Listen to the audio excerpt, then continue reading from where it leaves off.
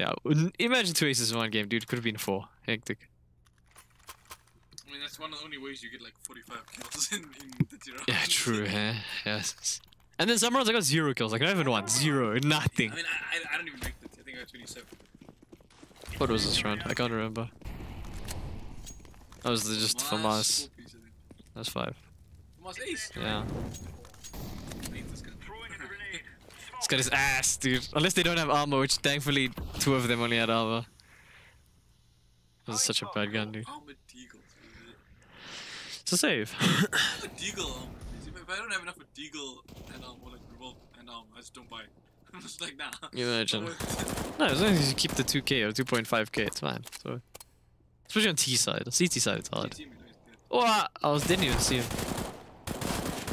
No headshots, you see. I used all my headshot luck on that other round. The AK. AK a better gun. I understand the spray pattern. This is cock. I don't know what this guy is. A preview gun. Hey, look, I'm alive.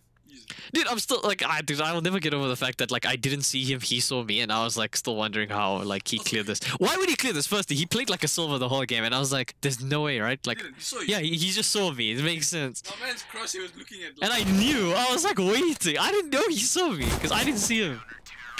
Yeah, he's take that. Like